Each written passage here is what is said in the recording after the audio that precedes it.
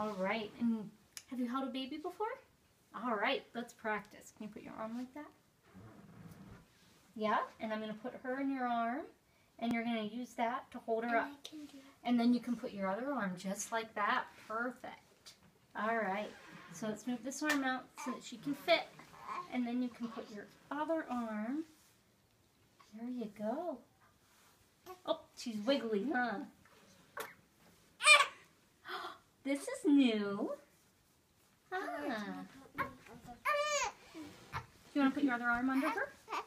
That way she doesn't fall off. There you There. go. She might be getting hungry. Are you getting hungry? Well, we might have to try